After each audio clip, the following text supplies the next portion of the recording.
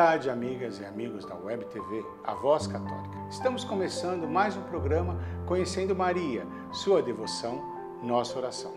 Esse programa é patrocinado pelas velas Santo Antônio, que você encontra na loja Catedral Artigos Religiosos, a rua Brás Bernardino 221, Centro Juiz de Fora. Telefone 3215 3139. Muito bem, boa tarde, devoto e devoto. Estamos finalizando o mês de outubro. Que mês abençoado, né? Tivemos santos maravilhosos, Nossa Senhora, enfim, foi um mês de muitas bênçãos. Agora nós estamos, nós estamos entrando no mês de novembro. Nós teremos agora uh, várias solenidades importantíssimas. E vocês podem estar felizes, porque esse mês de novembro nós temos muitas, mas muitas invocações de Nossa Senhora. Só para vocês terem ideia, é, as invocações são muitas, né? Nós temos Nossa Senhora do Bom Sucesso, que é amanhã, nós temos Nossa Senhora Mediadora, nós temos Nossa Senhora Mãe da Divina Providência, no dia 19, nós, nós temos a padroeira, inclusive, do estado do Paraná, Nossa Senhora do Rocio, dia 15. Dia 21 nós temos quatro invocações. Por isso que eu estou trazendo uma das invocações, eu puxei uma das invocações pro dia, do dia 21 para hoje. Nós temos Nossa Senhora da Escada, Nossa Senhora da Apresentação, Nossa Senhora da Apresentação de Natal e Nossa Senhora dos Impossíveis. Aqui de fora tem uma paróquia, Paróquia São José, que é feita a, a, a, missa dos impossíveis de Nossa Senhora, que o nosso amigo Padre Pierre faz toda terça-feira, lota.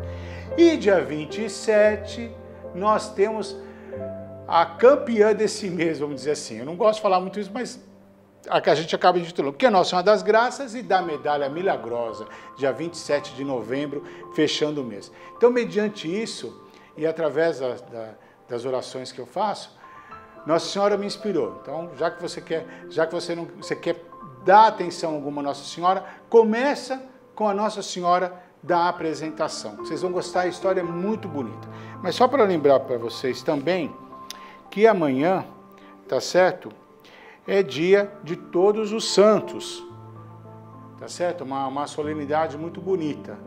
E no dia 2 dos fiéis defuntos também uma solenidade importante. Estou citando para vocês, eu não vou entrar uh, nessa análise, mas para citar para vocês, inclusive, é feriado no sábado, para quem é do comércio, as atividades que funcionam aos sábados, é feriado, tá certo? Mas vamos lá. Nossa Senhora da Apresentação, tá certo? Existem alguns modelos de, de, de, de, de iconografia, essa é uma delas, que está inclusive uh, na, em Natal. Eu vou explicar para vocês. Mas o que, que é a apresentação da Virgem Maria, tá certo?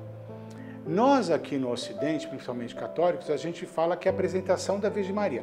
Mas no Oriente, olha que bonito, o título é A Entrada da Mais Sagrada, Teótocos no Templo. Quer dizer, Teótocos é aquela portadora do Deus, aquela que porta Deus né, em grego, né? Tá certo? E são nomes dessa festa litúrgica, que é uma memória, inclusive, muito bonita, e vem uma tradição muito antiga do Oriente, através, inclusive, da Igreja Ortodoxa também.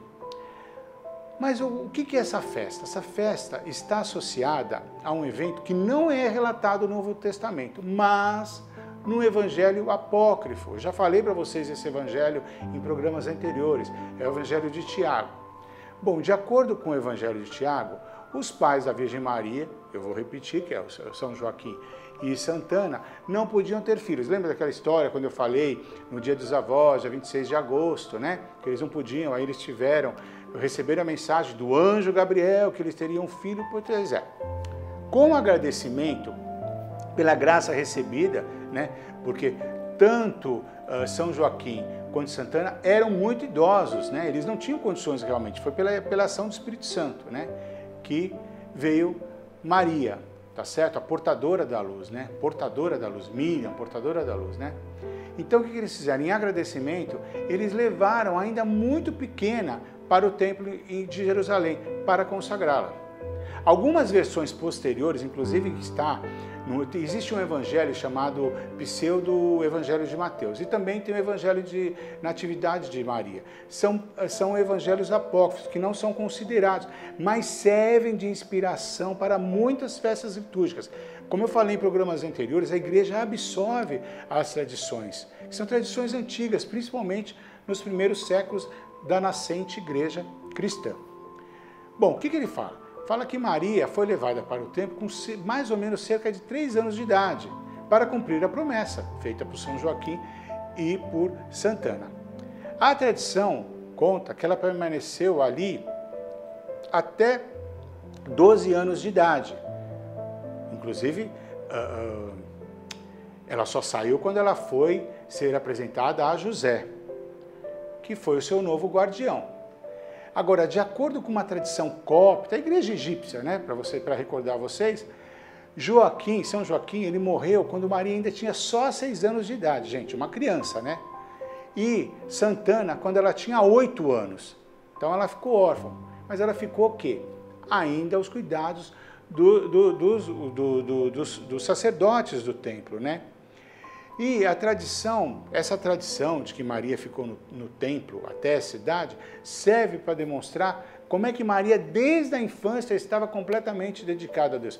Porque vale lembrar para vocês que na tradição judaica, ah, você ficar, as, as meninas, as virgens ficarem uh, uh, a serviço do, do, do, templo, do templo de Salomão, era uma honra, era um prestígio que só a elite a aristocracia mesmo da época poderia usufruir. E Maria também era aristocrática, a gente sabe disso, a descendência dela, né? Bom, ela ficou lá então para preparar o seu futuro como, como papel de mãe de Deus, de, da Teótocos, né? Ah, que é a portadora de Deus, né? Bonito, né? Essa palavra, né? E aí que surgiu então a festa da apresentação de Maria, Maria se apresentando na tradição oriental, esta é uma das datas nas quais as meninas, eh, no caso dia 21 de novembro, alguns consideram 4 eh, de dezembro pelo calendário juliano, todas as meninas com o nome de Maria são batizadas. Olha, é uma informação assim bastante diferente para vocês, né? Muito interessante essa informação, né? Tanto a celebração litúrgica da Igreja Ortodoxa como na igreja é, católica, é dia 21 de novembro. Existem algumas variações, como 28 de novembro ou 4 de dezembro, como eu falei. Mas o mais importante é que na igreja oriental, ela é uma das 12 grandes festas, eu já falei isso para vocês, uma das grandes 12 festas do calendário litúrgico uh, ortodoxo. Por que, que eu falo isso? Porque os ortodoxos e os cristãos uh, orientais ligados à igreja a igreja de Roma, eles têm uma devoção especial por Maria, gente. Maria, é, é, a liturgia mariana nessas igrejas orientais é riquíssima, por isso que eu trago para vocês. Muito bonita, né? As igrejas que ainda seguem o calendário juliano, são poucas, as gregas, a etíope, algumas, é no dia 4 de dezembro, que para nós é o dia de Santa Bárbara, né? Contudo, independente disso, tá certo? Ela sempre cai durante o jejum da natividade, né? Aí eu volto a falar para vocês sobre o jejum, né? O que, que é o jejum da natividade? O jejum da natividade nada mais é do que um período, tá certo? Tem uns que contam como 30, outros 40 dias, onde você se abstém de uma série de, de alimentos, tá certo?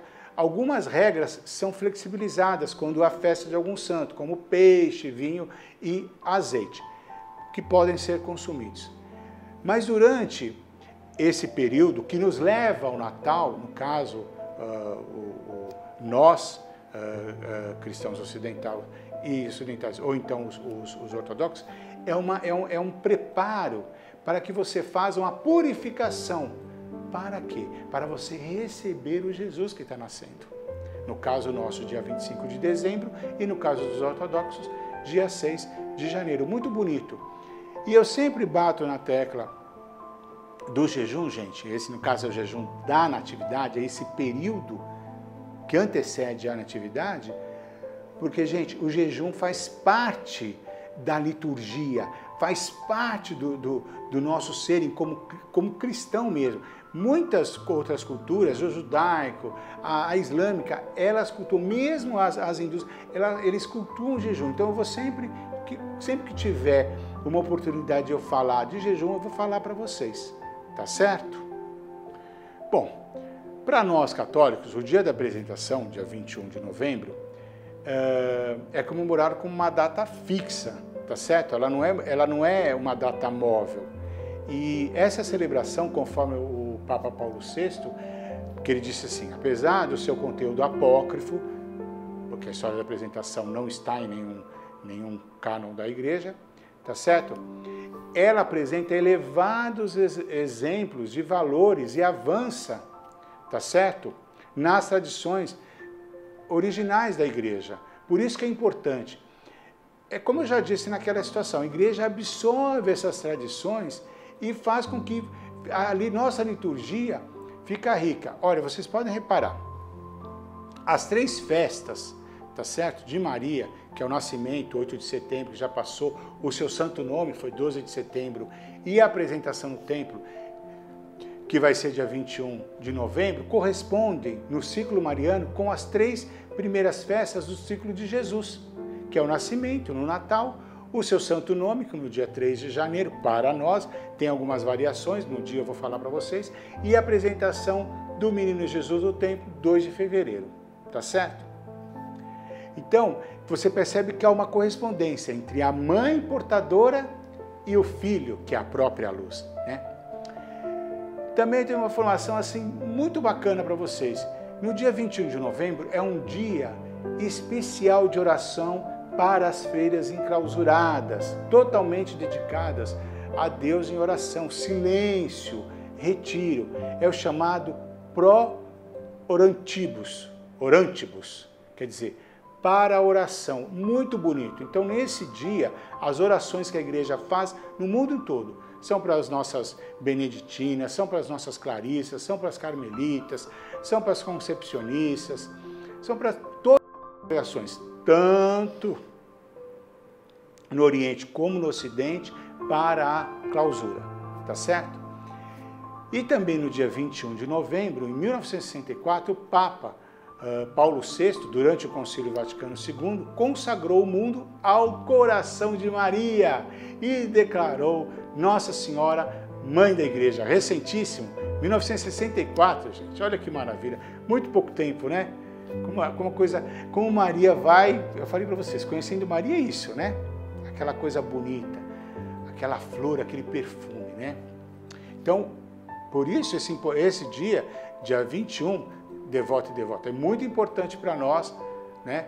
E nas minhas orações resolvemos falar sobre Nossa Senhora da Apresentação. Bom, vocês vão ver agora aqui alguns quadros vocês podem perceber que nas representações, geralmente, eles concentram a figura da jovem Maria sozinha, subindo as escadas, os degraus, para ir no templo. E está deixando para trás tanto São Joaquim quanto Santana, indo em direção ao sumo sacerdote e às pessoas do templo. Então é muito bonita. Não existia uma imagem assim própria dela, né? Existia muita iconografia, muito ícone, tanto na oriental quanto no ocidente. Tá certo? Olha que interessante. Uh, apesar de ser uma, uma, uma passagem de Nossa Senhora muito importante, que a apresentação dela no templo, né, a preparação dela como portadora de Deus, do, do nosso Pai, ela, ela, a invocação dela é muito restrita.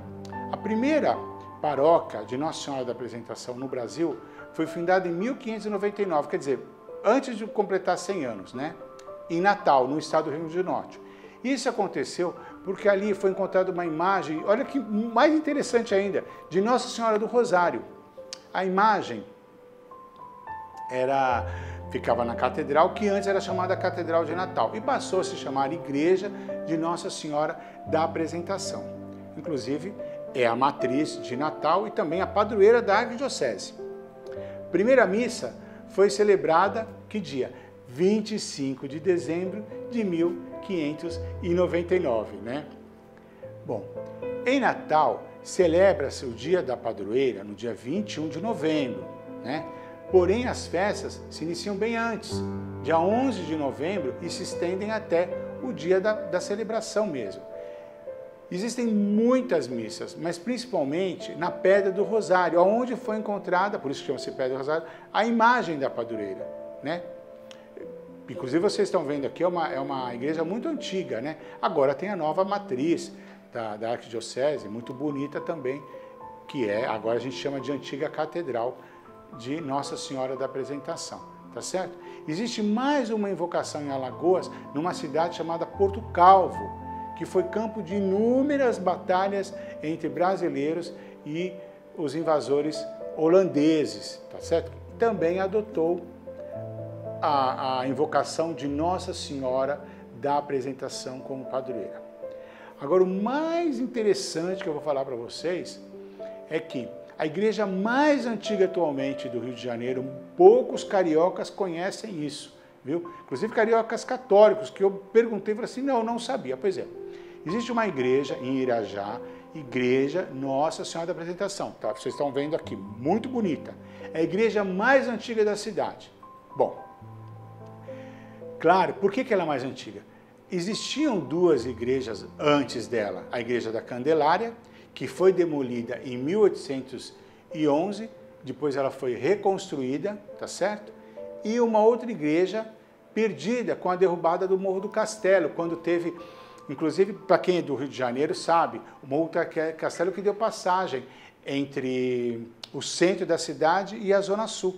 Por isso que teve que derrubar, inclusive um, tinha um seminário muito bonito lá. Logo, é a igreja mais antiga mesmo, e em segundo lugar fica quem? A igreja de Santo Antônio no Largo da Carioca, que é de 1620.